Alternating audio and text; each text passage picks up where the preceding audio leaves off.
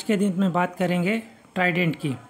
Trident में आज के डेट में अराउंड एक परसेंट की गिरावट देखने को मिली है।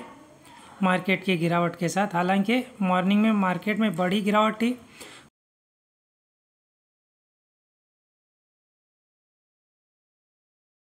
उसके बाद रिकवरी देखने के लिए मिली है मार्केट में। अभी यहाँ से ट्राइडेंट पिछले एक हफ़्ते से इसी रेंज में कंसोलिडेट कर रहा है। ना तो बड़ी गिरावट देखने के लिए मिल रही है और ना ही ऊपर की ओर स्टॉक ब्रेकआउट दे पा रहा है।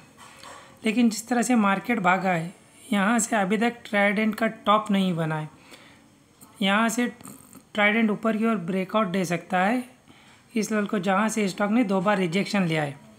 अगर आपने ख़रीदारी की हुई तो नीचे की ओर thirty two eighty thirty three का लेवल एक इमीडिएट सपोर्ट का काम करेगा। जब से इस लेवल के ऊपर है, चाहे चाहे तो आप थर्टी टू एटी के स्टॉप लॉस के साथ पोजीशन को होल्ड कर सकते हैं। एक बड़ा जंप आपको ट्राइडेंट में देखने के लिए मिल सकता है। जब तक एटलीस्ट स्टॉक थर्टी फोर के ऊपर ब्रेकआउट नहीं देता, तब तक बड़ी तेज़ी देखने के लिए नहीं मिलेगी। स्टॉक इसी रेंज में कंसोलिडेट हो सकता है।